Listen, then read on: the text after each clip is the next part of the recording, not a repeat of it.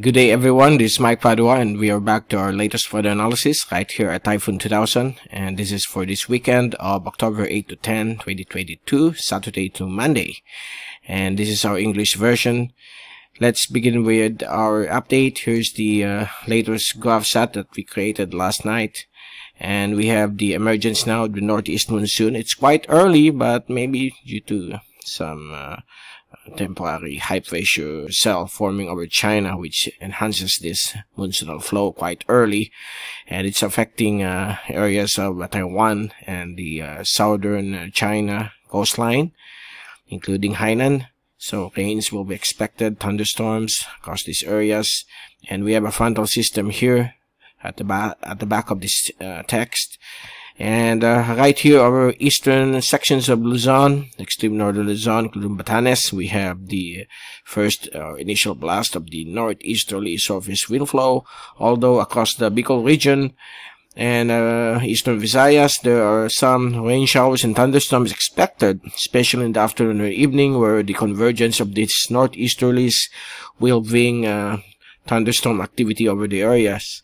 So please take all necessary precautions against uh, lightning strikes and possible flooding in hazard-prone areas. Now, uh, other portions of the Philippine Islands will have good weather with uh, isolated rain showers and thunderstorms, particularly in the afternoon or evening because of the prevailing La Nina. There are lots in store across the Visayas today and through the weekend. Outside of PAR, we are uh, monitoring low pressure area 96W, which is uh, um, now to the west of Guam. It's quite cloudless as of this time. And we have here a trough to the northwest of 96W, which is uh, likely to become another LPA.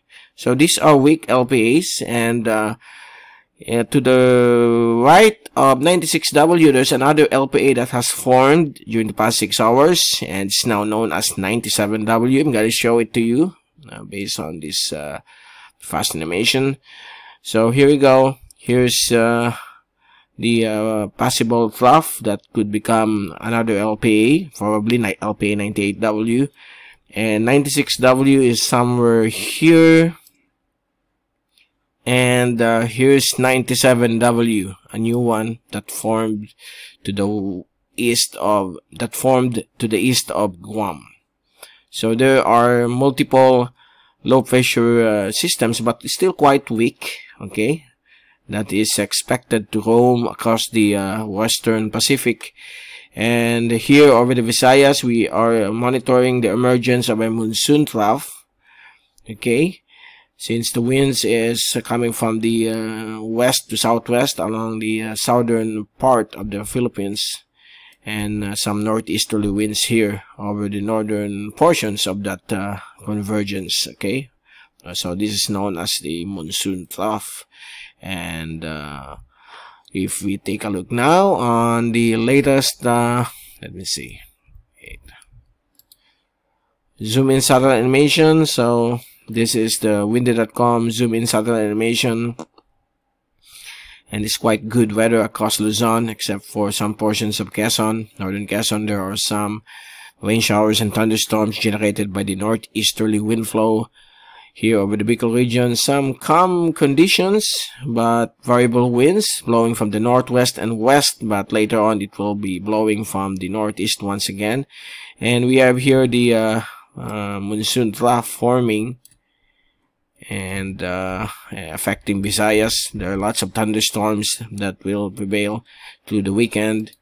Here's the rainfall accumulation forecast for the next three days until uh, Monday. As you can see, the uh, Visayas area, including Mimaropa, will be under the influence of localized thunderstorms because of the uh, development of a monsoon trough here. And right here, this rainfall activity over to the north of the uh, Philippine Sea up to the Batanes is mainly due to that other uh, surface trough that we've uh, shown to you a while. And it's uh, moving towards the west so it's likely to become another LPA and it could bring rainfall over these uh, uh, northernmost parts of Luzon, uh, and Batanes. So expect some rains and thunderstorms since it will converge with the northeasterly surface wind flow. While the rest will have um, nice weather, but expect some afternoon or evening rain showers and thunderstorms as well, based on the uh, forecast. Okay, now let's take a look at the wind forecast for the next three days until um, Tuesday. This is uh, from the European model.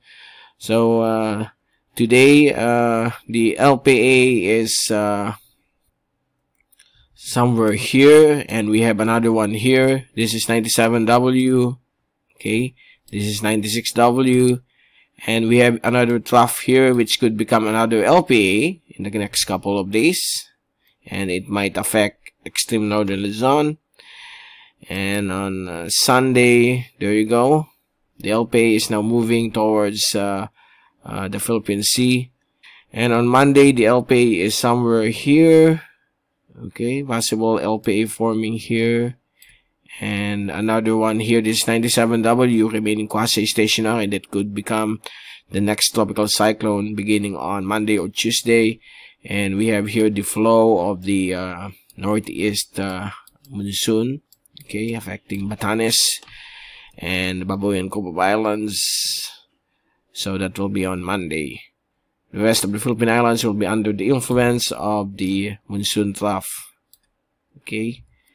So uh, if we move forward till the next weekend uh, Tuesday Wednesday Thursday, Friday until Saturday or Sunday, we are seeing here of a developing uh, tropical cyclone. So that's 97W. On Tuesday, it could become a tropical depression, a tropical storm.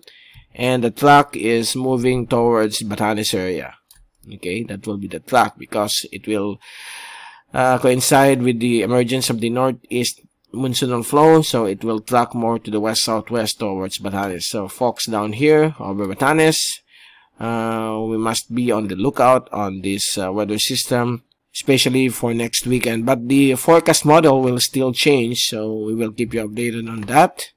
So far, that's the latest. Let's enjoy our weekend, and we are returning again on Monday to give you more updates on the weather, especially those uh, mm, small low pressure systems forming over the Western Pacific. From Typhoon 2000, this is Mike Padua reporting. Stay safe always, be hashtag weatherwiser, and thank you so much for watching our channel.